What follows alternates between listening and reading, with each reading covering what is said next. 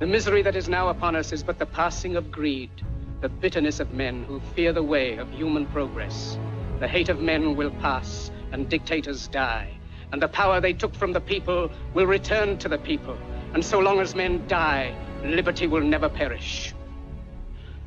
Soldiers, don't give yourselves to brutes.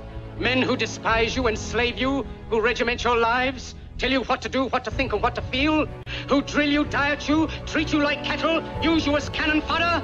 Don't give yourselves to these unnatural men, machine men with machine minds and machine hearts. You are not machines. You are not cattle. You are men. You have the love of humanity in your hearts. You don't hate, only the unloved hate, the unloved and the unnatural.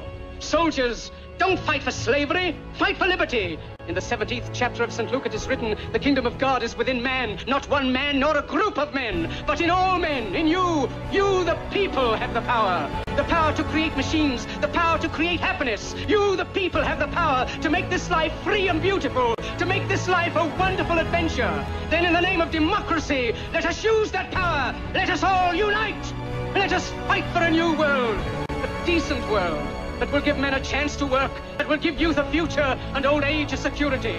By the promise of these things, brutes have risen to power, but they lie. They do not fulfill that promise. They never will. Dictators free themselves, but they enslave the people.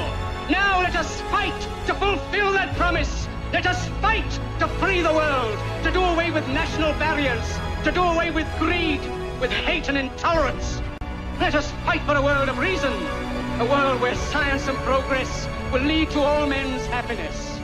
Soldiers, in the name of democracy, let us all unite!